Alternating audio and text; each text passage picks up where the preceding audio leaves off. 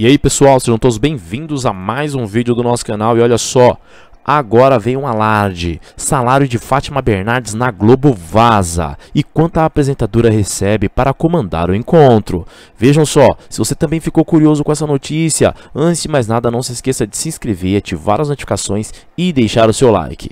Bom, eu sou Washington Lisboa e a partir de agora vamos saber tudo sobre a vida dessa famosa. O nome Fátima Bernardes, que voltou a ficar em alta nos últimos dias e desta vez o motivo é a possível saída da apresentadora da Globo, o que oficialmente não foi confirmada ainda, mas os rumores têm crescido muito. Vejam só, ela que está de férias, curtindo a folga ao lado do namorado, enquanto o público fica sem saber quem de fato está apresentando o encontro nas manhãs de segunda a sexta. Patrícia Poeta e Fernanda Gentil são os dois nomes mais citados como possível substituta. E em meio a tudo isso, vaza uma notícia informando o salário de Fátima Bernardes, deixando os internautas surpresos. De acordo com um portal de notícias de famosos, Fátima tem contrato com a Globo até 2025 e seu salário seria de 1,5 milhões de reais por mês. Para alguns internautas, isso é um absurdo, porque a apresentadora está sendo vista como uma das que mais fica de férias na TV brasileira.